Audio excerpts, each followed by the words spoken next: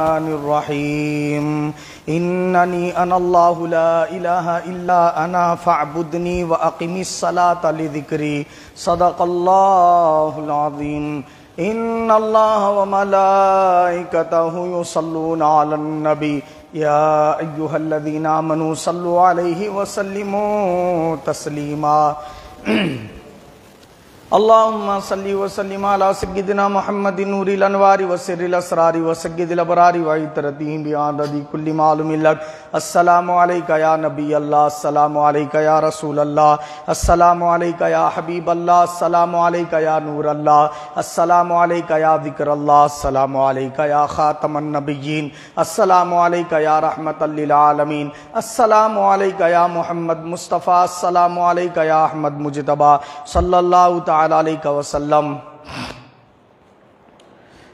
न दौलत से, न शोहरत से, न घर आबाद करने से, तसल्ली दिल को मिलती है खुदा को याद करने से, सबको अपना करने वाले रब को अपना करके देख, सब तमाशे करके देखा हाँ, ये भी तमाशा करके देख। अजीज़ा ने मिलत इस्लामिया अल्लाह रबुल्ज़त का बेपना फजल करम है कि उसने हम तमाम को हर जुमा की तरह आज भी यहाँ जमा होने की सादत नसीब फरमाई। आज जो हमारी गुफ्तगु है, वो अल्लाह ताला ने अपने लिए कौन कौन सी चीज़ें ख़ास कर ली कि उसके अलावा किसी और के लिए वो चीज़ें नहीं कर सकते, वो अमाल नहीं कर सकते। किसी और के लिए अगर करेंगे तो फिर उस सूरत में मुशरक हो जाएँगे। तो इससे मुतालिक आज हमारी गुफ्तगु है कि अल्लाह ने वो कौन सी चीज़ें हैं, वो कौन से अमाल है जिसको अपनी करीमा का तर्जुमा है, ये सूर ताहा की आयत नंबर चौदह है, जो मैंने अभी तिलावत की। इस पर हमने पिछले जुमा गुफ्तगु की थी, मगर इब्तदाई हिस्से पर ला इलाहा इल्ला अना, इन्ननी अनल्लाहु ला इलाहा इल्ला अना, इतने हिस्से पे हमारी गुफ्तगु हुई थी। फ़ाबुदनी जो अल्लाह पाक ने फरमाया तो तुम मेरी इबादत करो। तो अल्लाह ताला की इबादत माफ़ होता। अगर बगैर तोबा के मर गया, उसी अकीदे के साथ, उसी सोच के साथ कि अल्लाह के अलावा भी और कोई दूसरा इबादत के लायक है तो फिर उस सूरत में उसकी नजात और बख्शिश कभी नहीं हो सकती। ना ही रसूल पाक उसकी शफात करने वाले हैं। तो इबादत मुस्लिमों व मुस्लिमा, इल्म का हासिल करना हर मुसलमान मर्द और औरत पर फ़र्ज़ है। दोनों पर फ़र्ज़ है। ऐसा है। इल्म का हासिल करना और इल्म में भी सबसे ज़्यादा अहमियत का हामिल कौन सा इल्म है, जिसका ताल्लुक अकायद के साथ है? अल्लाह कौन है? अल्लाह ताला की इबादत क्यों करनी चाहिए? शामिल हो सकता उन्हें। समझ गए बात आप? इसलिए लाजिम है। फरमाया, इबादत। तो इबादत में बाज हजरात क्या करते मालूम है? नमाज़ पढ़ तो फ़र्ज़ नमाज़ तो अल्लाह ताला के लिए बोल रहे। और सुन्नत नमाज़ की नीयत कैसा करे? ऐसी सोच है। इस सोच के लिहाज से नीयत भी ऐसी कर ले रहे। ये सीधा सीधा शीर है।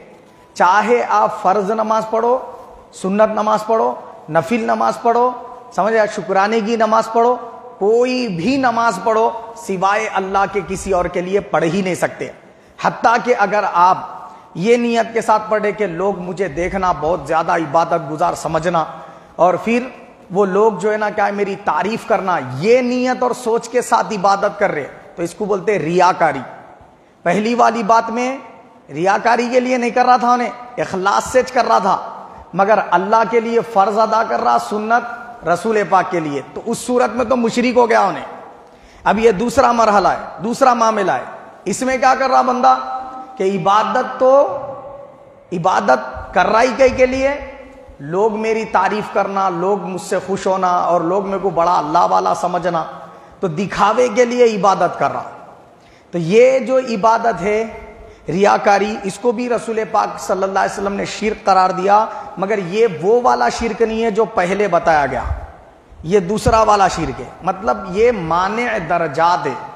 इससे दर्जात बुलंद नहीं होते, आदमी गुनाह कबीरा का मुर्तकिब होता, और ये बंदे को रसूल पाक की शफात मिलेगी, अल्लाह ताला की तरफ़ से बख्शिश मिलेगी। लेकिन अजाब का मुस्तक होगा। सच्ची तोबा करना लाजिम होगा उसके ऊपर, रियाकारी से। क्योंकि अल्लाह पाक ने फरमाया कि इखलास के साथ इबादत करो। ये हुक्म है अल्लाह ताला का। इबादत कैसा करो? रब ताला को खुश करने के लिए इबादत करो। आप किसको खुश करने के लिए इबादत कर रहे मखलूक को खुश करने के लिए करे तो नाफरमानी हुई कि नहीं हुई? इस लिहाज से बंदा मुजरिम हो जाएगा।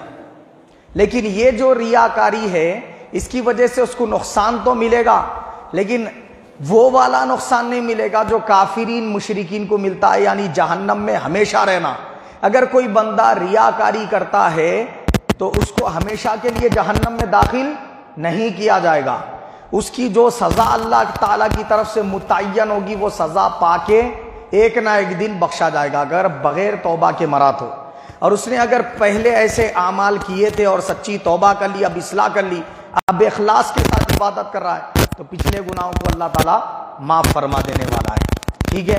वो बातें तो इबादत सिर्फ़ और सिर्फ़ पहली बात, अल्लाह के लिए, अल्लाह के अलावा किसी और के लिए कर ही नहीं सकते। दूसरा क्या है? रियाकारी से भी इबादत नहीं करनी चाहिए, इखलास के साथ करनी चाहिए। ये हो गया इबादत का मामला। अल्लाह ने फरमाया फ़ाबुदनी तुम मेरी इबादत करो। इबादत में शामिल मत का सजदा, दुआ का सजदा, शुक्राने का सजदा, ये सारे सजदे क्या है? अल्लाह की इबादत के लिए किए जाने वाले सजदे।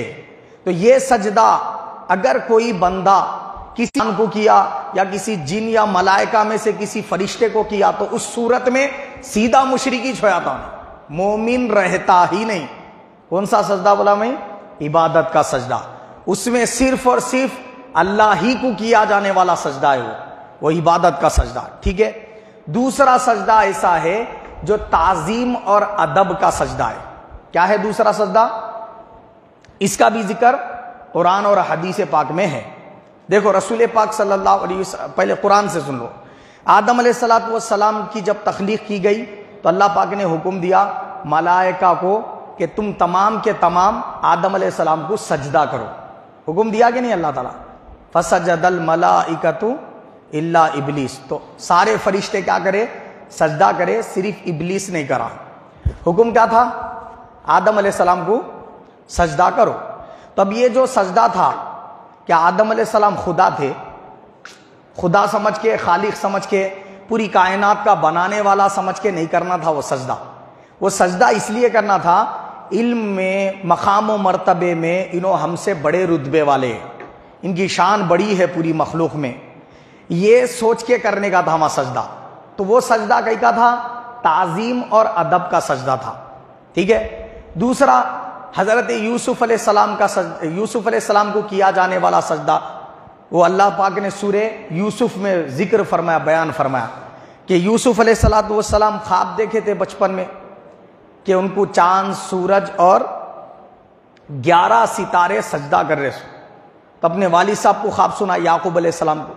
उन्होंने ताबीर उन्होंने ताबीर उस वक्त नहीं बताई, ख्वाब सुना इस वक्त।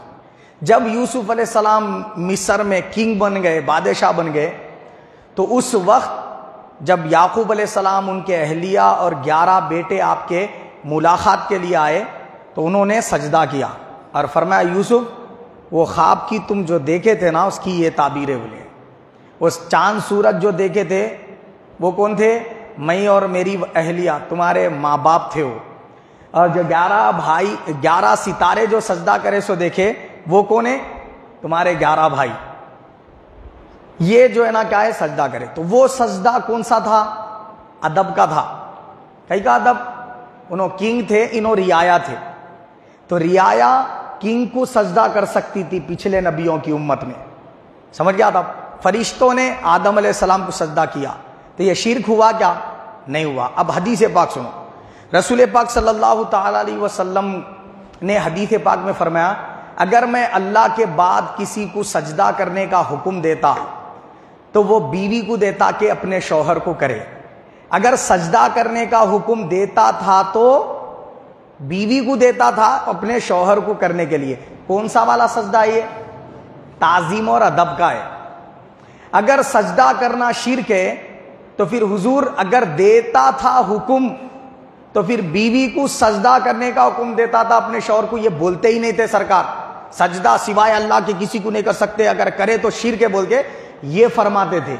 मगर ये फरमाना कि बीवी को हुक्म देता था, अगर देना चाहता तो वो अपने शौहर को करे, अल्लाह के बाद किसी को सजदे का हुक्म देता तो।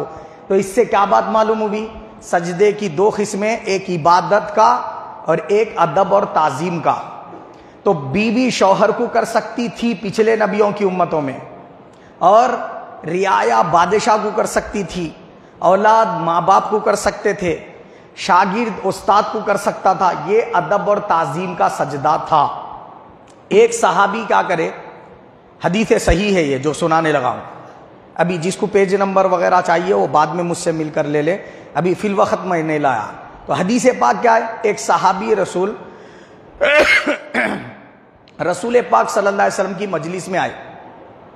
हुजूर पाक सल्लल्लाहु अलैहि वसल्लम सहाबा इकराम से गुफ्तगु फरमा रहे थे, या भी रसूल पाक खड़े हुए थे। इतने में वो सहाबी आए और आकर उन्होंने सीधा सजदा ही कर दिया सरकार ने हुजूर से मुसाफा भी नहीं करे, कुछ भी नहीं करे, सीधा आए, सजदा ही कर दिए रसूल पाक सल्लल्लाहु अलैहि वसल्लम तब हुजूर सल्लल्लाहु अलैहि वसल्लम वो सहाबी को क्या फरमाए? ये नहीं फरमाए, ये क्या कर दिया शिरक? ये तो सीधा सीधा शिरक हो गया। अब चल तजदीद ईमान कर, तेरी बीवी निकाह से निकल गई। नहीं फरमाया सरकार।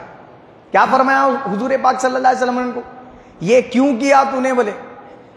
तो उन्होंने अर्ज़ किया रसूल अल्लाह मैं जब सफ़र तिजारत के लिए जाता हूँ तो वहाँ रूम के बादशाह वगैरह के पास जो है ना, लोगों को देखता हूँ, वो अपने बादशाह को सजदा कर रहे तो या रसूल अल्लाह वो बादशाहों से ज़्यादा क्या आप ये हक नहीं रखते कि आपको हम सजदा करें बोले उन्होंने?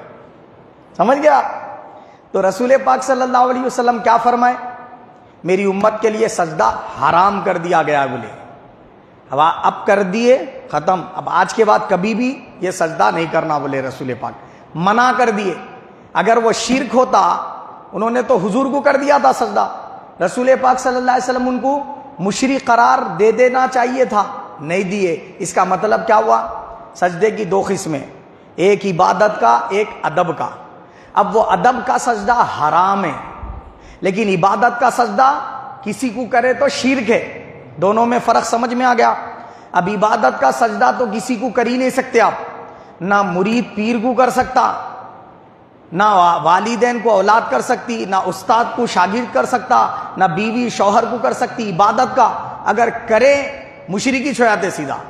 अब रह गया अदब का सजदा। ये भी रसूल पाक ने हराम कर दिया। शिरक तो नहीं है, लेकिन हराम ज़रूर है। जैसा शराब पीना हराम है, जिना करना हराम है, ऐसा ये सजदा करना किसी को हराम है।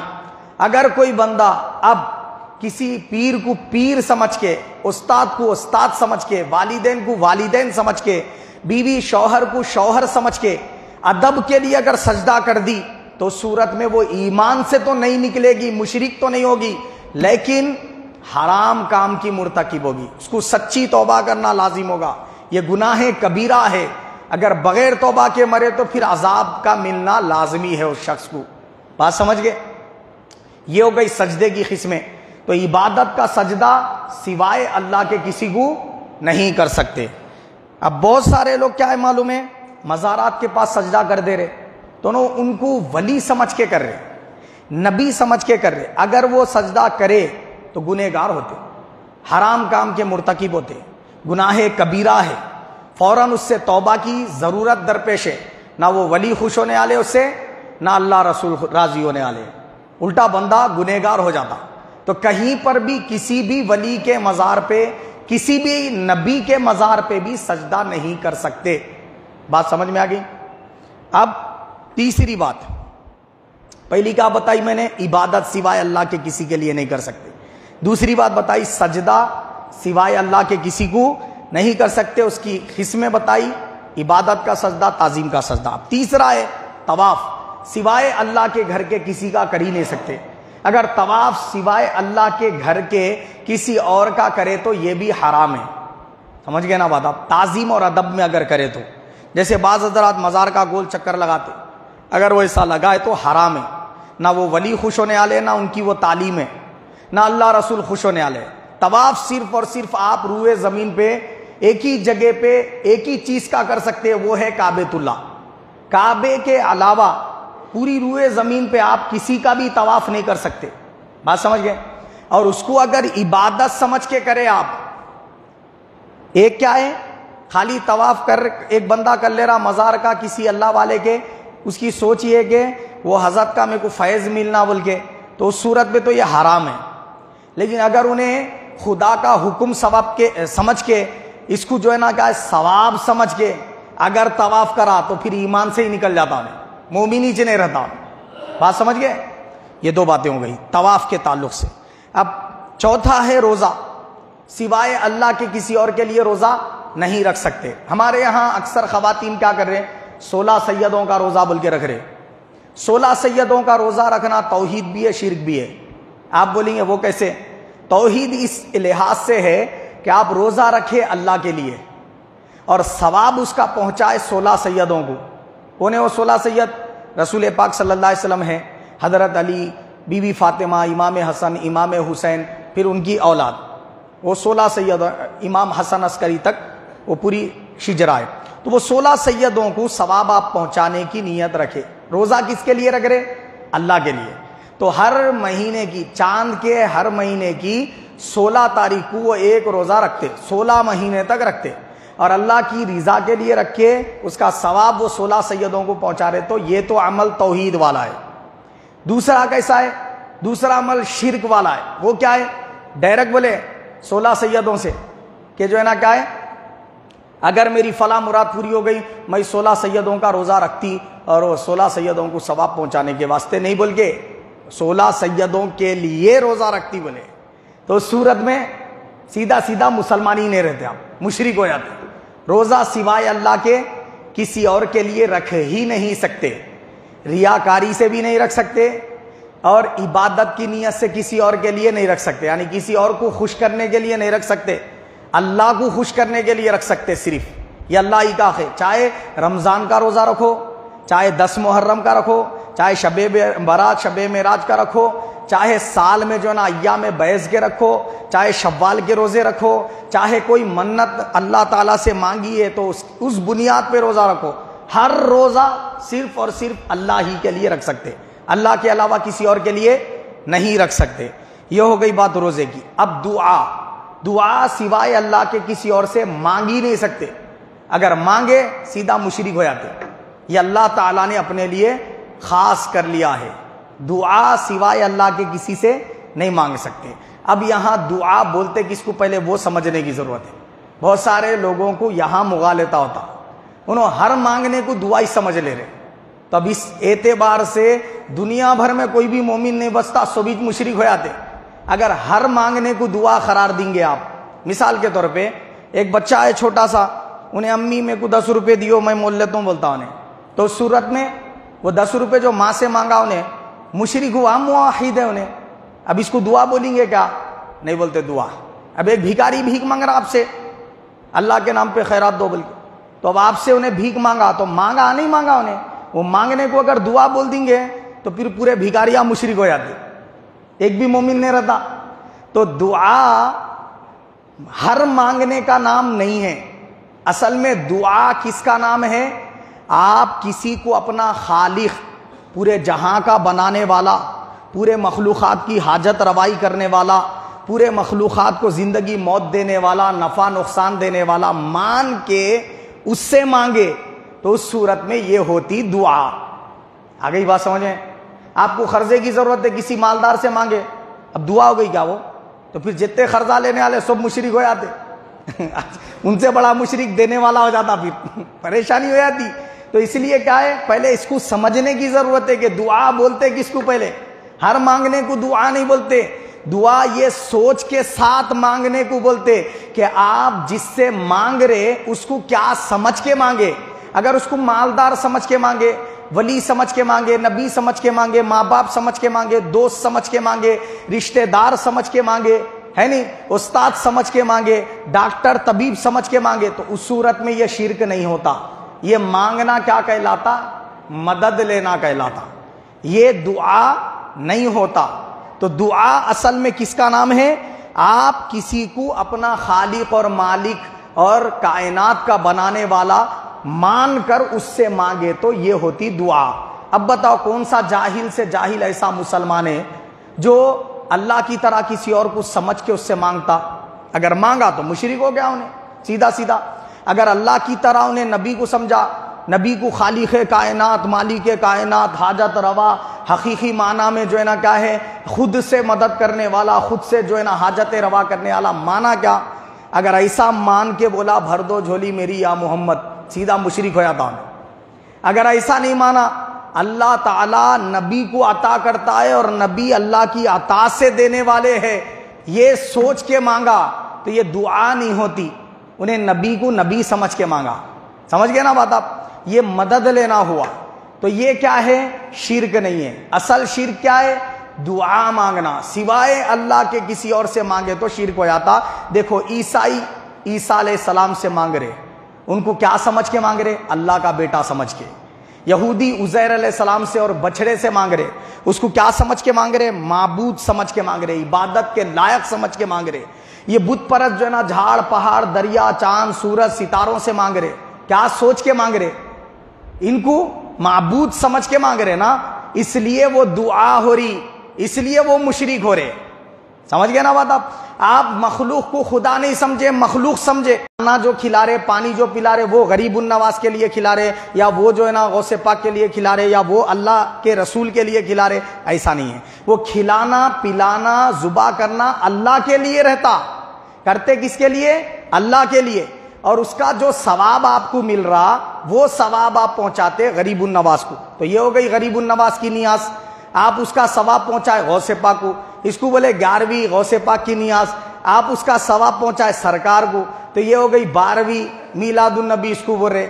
समझ रहे ना बात आप? ये रसूल पाक की नियाज हो गई। तो इस तरीके से इसमें अगर कुछ मुगालता है तो दुरुस्त कर लेना चाहिए। बाज लोग क्या है मालूम है? रसूल पाक के लिए खिला रहे बोले तो फिर ये गुनहगारी वाली बात हो जाती। खिलाना किसके लिए? अल्लाह के लिए। और सवाब पहुँचा रहे रसूल पाक को। ये जो है ना क्या है? तसी करने की ज़रूरत है। इसी तरीके से मन्नत। मन्नत सिवाय अल्लाह के किसी और से नहीं मांग सकते। ये अल्लाह ने अपने लिए खास कर ली। कुरान मजीद में कई जगह पे अल्लाह ताला ने फरमाया कि अल्लाह के जो महबूब बंदे वो मन्नत को पूरा करने वाले हैं। ये अल्लाह पाक ने बयान फरमाया। कुरान मजीद में हज़रत बीबी मरियम की मन्नत का ज़िक्र है। वहाँ पे बीबी मरियम के वाले अला काम पूरा हो गया तो मैं तेरे लिए ये काम करता हूँ। तो उस सूरत में वो क्या है? शरई मन्नत है। गैर शरई मन्नत, जिसका इबादत से कोई ताल्लुक ही नहीं है। अगर वो आप मांगे, उसका वादा करे अल्लाह से तो उसका पूरा करना आप पे लाजिम नहीं है। अब मैं मिसाल दे देता हूँ। आप नमाज़ के लिए मांगे मन्नत, अल्लाह ताला की खातिर, अल्लाह से क्या मांगे? अः अल्लाह, मेरी फला मुराद पूरी हो गई तो मैं दस रकात नमाज़ पढ़ता हूँ, पचास रकात नमाज़ पढ़ता हूँ, सौ रकात नमाज़ पढ़ता हूँ। या कुरान मजीद की तिलावत की मन्नत मांगे। या एतेकाफ बैठता हूँ बोल के मन्नत मांगे, या उम्र करता हूँ या हज करता हूँ बोल के मन्नत मांगे, या फिर आप बोले कि अल्लाह, मैं एक जो है ना बकरा ला के जुबा करके उसका गोश्त गरीबों में बांटता बोले, या फिर जो है ना दस फ़कीरों को पेट भर खाना खिलाता बोले, ये सब क्या है? सवाब और इबादत वाले काम है। सदका खैरात हो, नमाज़ हो, रोज़ा हो, ज़क़़त हो, नहीं, हज हो, उम्र हो, और रमज़ान में एहतिकाफ़ हो, या खाली दिनों का एहतिकाफ़ हो, ये सब क्या है? अल्लाह ताला की इबादतें हैं। इसमें से आप कौन सी भी मन्नत मांग सकते कि मैं ये फला मुराद पूरी हो गई तो ये मन्नत करता हूँ बोल के। लेकिन दूसरा गैर शरई मन्नत क्या है? डायरेक्ट आप कोई वली के पास गए, जैसा सादुल्ला हुसैन ये बड़े पहाड़ के असर वहाँ चले गए। वहाँ जाके क्या बोले, मालूम, हज़रत, मेरे को औलाद नहीं हो रही, अगर औलाद हो गई तो मैं तुम्हारे मजार पे लाके चादर चढ़ा देता हूँ। ये गैर शरई मन्नत है। को एहतिकाफ घर में बैठने का है। मजारात के पास एहतिकाफ नहीं बैठ सकती औरत। बात समझ रहे ना? तो नींद करने की अगर कहीं बुज़ुर्ग, किसी बुज़ुर्ग के पास मन्नत मांगे तो शौहरों की ज़िम्मेदारी है, वो औरतों को सख्ती के साथ मना करना भेजना ही नहीं। अच्छा नहीं करे तो देखी, देखे, मैं बोली थी तुम्हारे को, ये जो है ना, क्या है, नहीं करे तो फिर बला आती, मुसीबत आती। ये भी क्या है मालूम है? जहालत है। आप अपने अमाल का मुहासिबा करो, दिन में कितने झूठ बोल रहे? दिन में कितने गाली कर रहे, गाली दे रहे, दिल में कितने जो ने लोगों से नफरत रख रहे, कितने गीबतें कर रहे, कितने चुगलियाँ कर रहे, ये गुनाहों का बबाल नहीं आता। सरकार फरमाए अलकिजबू रिस्क। झूठ रिस्क को घटा देता है बोले। देर तक सोना सुबह में, फजर पड़े बगैर। सुबह में देर तक ग्यारह ग्यारह, बारह बारह बजे तक सोते रहना। ये क्या है? रसूल पाक फरमाए, रोजी को तंग कर देता बोले। ना इसके करने में कोई अजर सवाब मिलने वाला है आपको। हाँ सदका खैरात कर तुम बोल के कर सकते आप, मन्नत, अल्लाह ताला के हजूर। लेकिन अगर कोई ये मन्नत मांगा तो उलमा ने यहाँ तक वजाहत की कि अगर आप ये मन्नत मांगे कि मौला मैं जो है ना क्या है मेरी फला मुराद पूरी हो गई तो फला जो है ना क्या है अल्लाह के वली के मज़ार के पास जाके वहाँ जो है ना नियाज करते हूँ बोले। तो ये लाजमी नहीं है। आप जहाँ हैं, वहाँ पे नियाज कर ले सकते क्योंकि खाना खिलाना किसके लिए? अल्लाह को राज़ी करने के लिए। वली को खुश करने नहीं है। उसका सवाब पहुँचा रहे आप तो ये तो कहाँ से भी कर सकते आप? अगर वैसी मन्नत मांगे भी तो वहाँ जाना लाजमी नहीं है। आप अपने घर के पास ही रह के वो मन्नत को पूरी कर ले सकते। और मन्नत सिर्फ़ अल्लाह का है अल्लाह के अलावा किसी से नहीं मांग सकते। आप किसी बुज़ुर्ग से डायरेक्टली नहीं बोल सकते कि, हज़रत, मेरी फला मुराद आप पूरी कर दिए तो मैं ऐसा कर देता हूँ बोल के क्या आपकी गुंबद बना देता हूँ? या यहाँ पे जो है ना क्या है, कलर मार देता हूँ, पूरे जो है ना क्या है, दर, दरबार में आपके कलर जो है ना क्या है, करा देता हूँ। ये सब मन्नतें, फजूल है ये ना ही अजर सवाब वाली बात। है बल्कि आप इबादात में से कोई मन्नत अगर मांगे, उसका पूरा करना लाजमी है। ये वाली मन्नतों का पूरा करना अगर पूरी भी हो गई, तब भी लाजमी नहीं रहता। मतलब आप अगर औलाद के लिए बोले थे ऐसा तो औलाद हो जाने के बाद भी आपको जाके वो दरगाह को कलर करना लाजमी नहीं रहता। बात समझ रहे ना? वहाँ चादर चढ़ाना लाजमी नहीं रहता। समझ गए?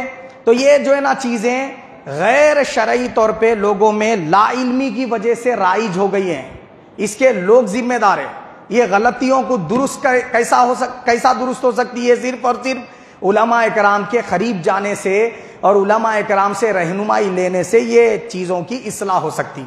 तो हमें दूरी इख्तियार नहीं करनी चाहिए उलमा से सवालात करके अपने अकायद, नज़रियात और अपने जो है ना आमाल को दुरुस्त करना चाहिए। आगे क्या फरमाया?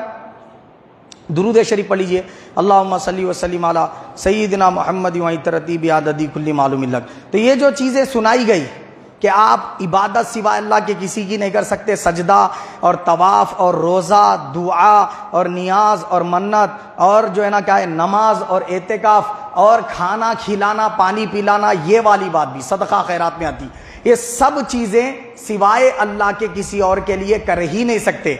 अगर कोई करेगा तो उन्हें क्या होगा? अल्लाह ताला के यहाँ सख्त गिरफ्त वाला होगा। हमारे यहाँ अक्सर खातन क्या कर रहे हैं? बीबी सगट की कहानी की मन्नत मांग रहे हैं।